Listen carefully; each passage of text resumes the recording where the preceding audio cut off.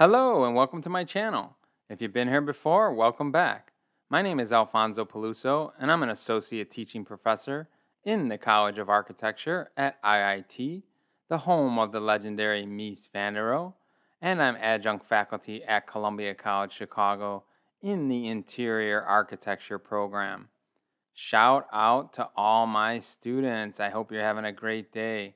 It's a lovely early spring day here in Chicago I hope the weather's great where you're at. Today we're going to look at Lumion, some special animation features. So you see we have this water flowing and then we're going to have some snow falling.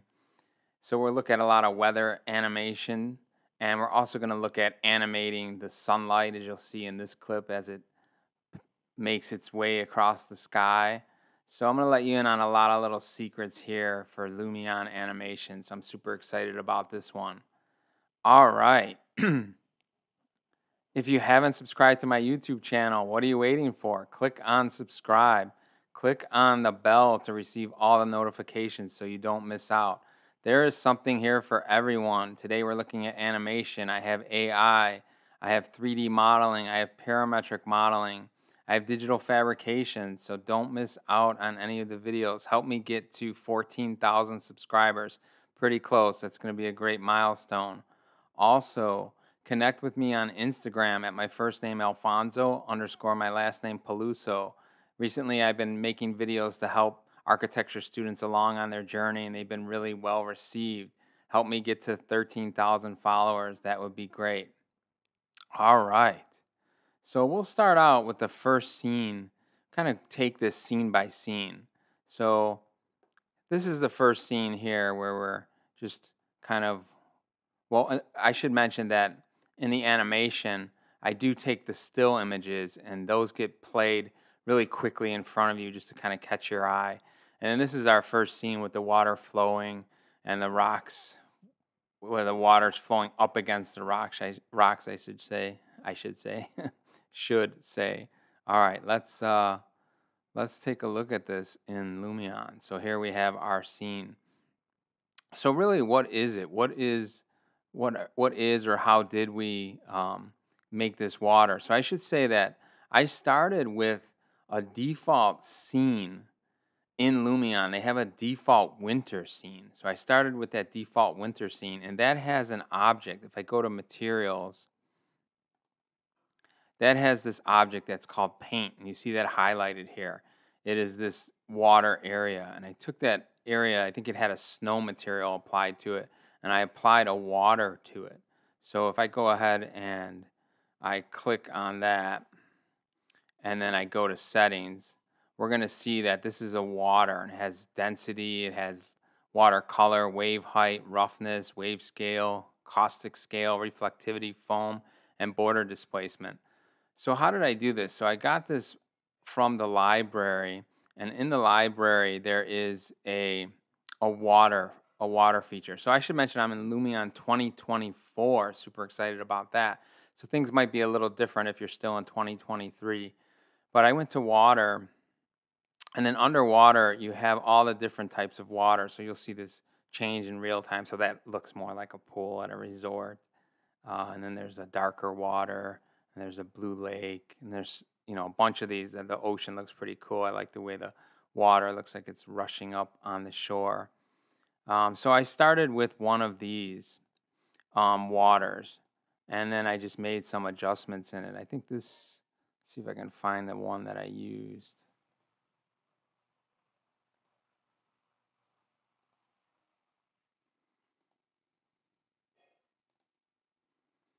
It might have been this, starting with this lake here, which is uh, a black water, and then going to settings and starting to change um, some of the settings. You know, you can look at the water density, but the one thing I really was playing with a lot was the wave scale and also the wave height. So you see that really changes the way it looks. There's some roughness in there. And there's the foam, which which is really high in this one. So you see the foam as it kind of rushes up against objects like the landscape. Um, so I really worked with some of these. There's this border displacement, how far the foam comes away. So really cool features here with the water. Um, the only other thing that I did with the water is I did some mass placements for the stones. So we can take a look at that.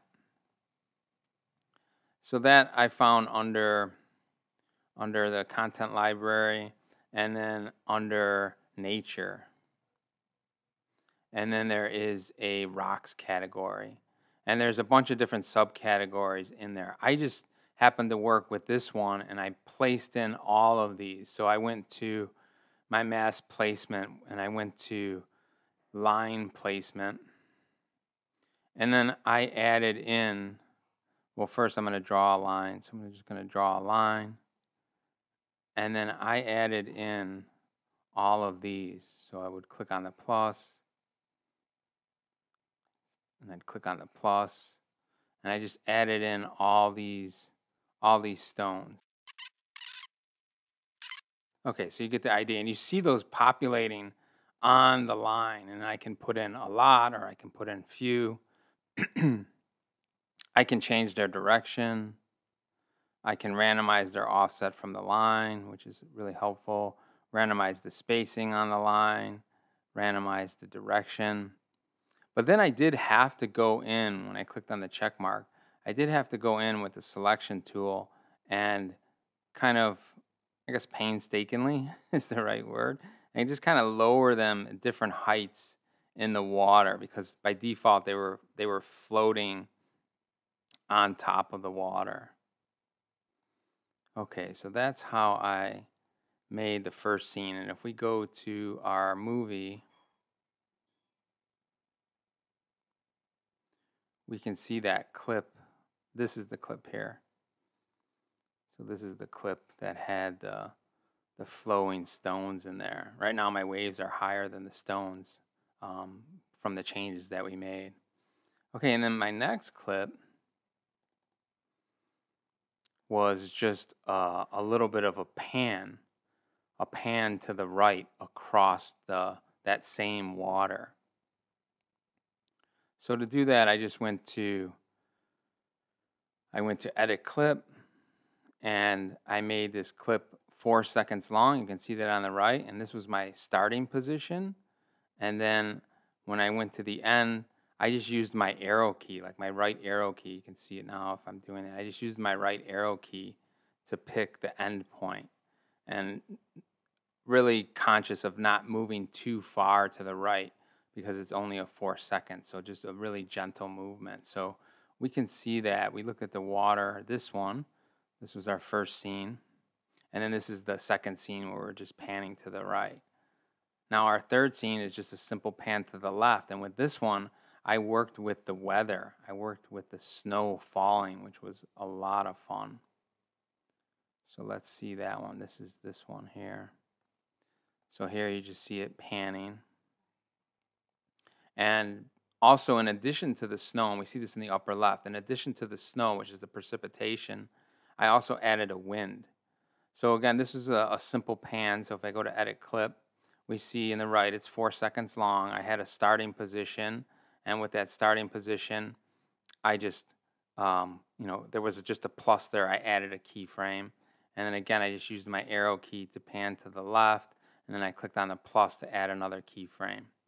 So let's look at, let's look at this. So precipitation. Just going to double click on that. So a lot of these you are able to animate because they have create keyframes. So you can move your timeline to a certain second. It's like zero seconds or one second to a certain second. And then you can create a keyframe which holds that, like in this case, the precipit the precipitation phase at a certain um, point. So if I move this over, you see that it can go from different precipitation phases. So I can add a keyframe for that. So like there's one point where right there where the snow is nicely on the trees. So there's particle speed, how fast the snow is going to come down, how much of it is going to come down, how big is it, is it blocked by trees? This extra fog addition was something was really nice because you know as snow really falls um, quickly, we start to get more fog and it's harder to see. So all these little settings were really good. And then there's the rain and snow, which I will take a look at in a later clip. Okay, so that was precipitation. Then we have wind. And I've just had the best of luck, which is turning the wind speed all the way up to 100% and keeping it there. I haven't really found much difference in the wind direction, but I've just keep the wind speed and the foliage wind all the way up, and then that gives us our result as we can see if we play this here. You'll see that the leaves, they're not like moving like crazy. They're just kind of going up and down um, as you might expect them to in the snow. And then our last kind of nature scene is this one where it's just a simple pan up, snow is falling, Okay, so let's get, uh, let's take a look at that one.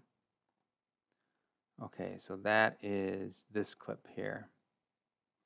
So just a simple, if I press play here, just a simple pan, pan up. So again, this was just with my up arrow key, just, you know, starting at this, starting at the zero second frame, and then clicking a plus to add a keyframe, and then going to the four seconds, moving my up arrow, or actually, it doesn't work with the up arrow. You're going to have to use the Q and the E key. So the Q key raises it and not going up too far. And then you have the pan upward, the vertical pan. Okay, so that was it for this particular file, which I had called nature. Now we're going to go over to a scene that I called cabin that has the cabin files into it.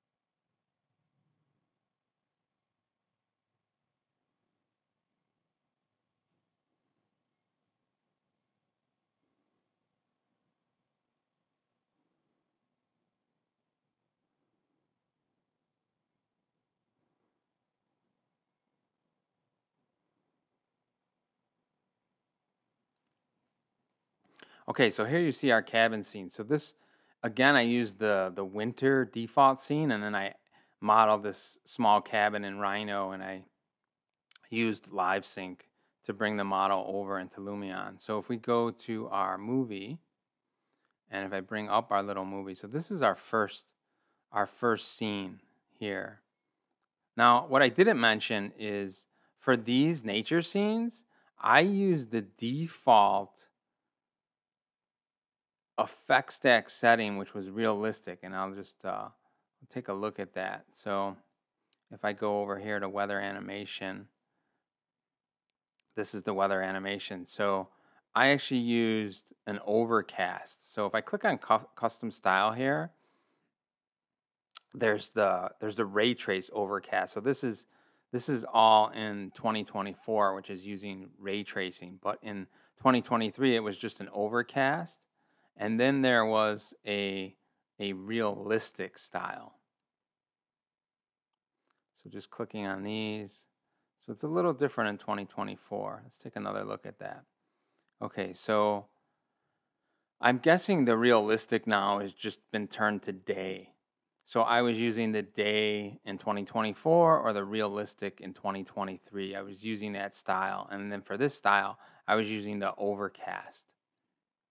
And then in addition to those, I added things like a sun in some cases so that the sun can pan across the sky. And again, you have here these create keyframes. So I can go to zero, and at zero seconds over here, you see a little diamond there. And on the right, for six seconds, you see another little diamond. So these were a little longer than four seconds. I made them six seconds just to keep the, the speed um, slow. So as I move this to the right, the sun heading. So on the if you look here at the sun heading, it starts out at where you don't see the bar, and then when I get toward the end here, it's going to come up with the sun heading here. So I was just animating this sun heading. So here you can see that kind of moving across the sky here. Okay, so that was the sun. That was one thing. And then the precipitation. Again, this was the same thing with the rain, snow. I have it all the way over to the right so that it's snow. There's part there's precipitation phase, so what phase it's in, so whether it's has more snow or less snow, you just gotta that one's a little funky to work with, but it's more or less snow in this case, or more or less rain in another case. So that was animated. And then the camera movement is just a simple zoom in, very, very slow over six seconds. So that again was just by going on the edit clip and then starting at a certain position at frame zero, clicking on the plus, going over to frame six, just using my, this is an up arrow key or um, the W key and just moving in a certain amount and at six and then clicking on a plus to add that keyframe. Okay, so that is that is this scene where you're just moving in very slowly. The snow is falling really nicely and the sun is moving across. Now this one I call like the sleet scene because it's it's it's raining and snowing at the same time, which we're calling sleet. And I really like the way that that looks on the foreground, uh, on the ground plane, I should say. I really like this look on the ground plane that's kind of reflecting the sunlight. So let's take a look at this one. Okay, so that's this pan left with sleet. So this is, uh, you can see it was using a dawn. So that used the dawn preset for the uh, effect stack. And then there is our precipitation, so I can go into that. And you see it's right between rain. There's just full on rain. And then as I move this to the right, it's going to get full on snow. So I was just kind of right there where it's sleet. And then the phase of that, which is how much, you can really see the phase changing here. So that just really, this phase really um, really deals with the ground plane, how much snow or rain is, is going to be left on that. And again, particle speed, quantity, and so on. So we're just really loving the precipitation effect. And then it was just um, a slow a slow pan to the left with um, some sleet falling. So that was really a good one. And then our last one, if we take a look over here, our last scene is just a slow vertical pan up and then changing the, this is actually animating the sun. So this is some, something we haven't looked at. How do you animate the sun through uh, what Lumion calls a sun study? So let's go ahead and go to that scene. And here we see our precipitation, which we looked at, I think, enough. And then we have our sun study. So this is a, an effect that you can add. And at frame zero, this is the particular hour, so 15. So I think that, I don't know, it's like 3 o'clock. And then if I press play, I'm just rising up above it. So just a slow vertical pan. And then we'll see if I just move this all the way over to the right, you'll see the hour is now 18. So it's now turned to darkness. so, you know, from not too far, just animated from 13 to 18. And then just a quick vertical pan and that uh, that ends the video. So I had a lot of, I tell you, I had a lot of fun making this in Lumion. Just the animation was just so easy, and I had so much control and so many things I could animate, like the sky and the the time of day and the, the snow and the rain and the moving water. It just really was a pleasure to make this in Lumion. All right, uh, that's all I wanted to show you. Hopefully this helps you, gives you some inspiration um, maybe shows you a few things you didn't know of. If you liked it, yeah, give me a thumbs up. Give me a like. Tell me why you liked it in the comments. Would love to hear from you. My head's going to pop up in the upper left. Click on that if you haven't subscribed. And I'm going to put a video in the upper right and a playlist in the lower right. All right, thanks for watching, and I'll see you on the next